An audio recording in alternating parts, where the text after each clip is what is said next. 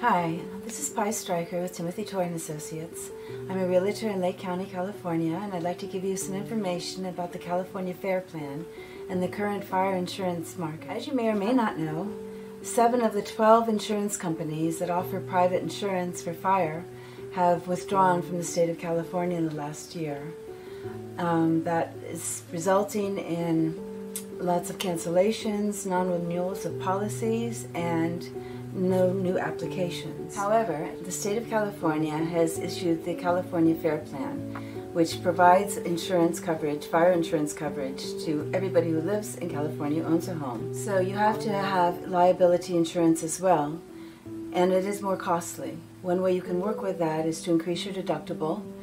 Also, if you live in what's called a fire-wise community, which has special uh, fire protection programs in effect, you can also reduce your insurance by as much as 7% possibly. So there are ways that you can work around that. What you need to know is that right now the FAIR plan is overwhelmed with applications and it's slowing down the process by 30 days. So if you have an accepted offer, uh, if you're in the middle of an escrow or you're beginning to buy a home, you might want to contact your insurance agency immediately and get that going because the typical escrow is 30 days and because it takes so long to get through the FAIR plan and get insurance coverage, it could slow down your process. So this is just some information that you can want to keep in mind when you're buying a house, and hopefully this helps. Um, please feel free to give me a call. Again, my name is Pi Stryker.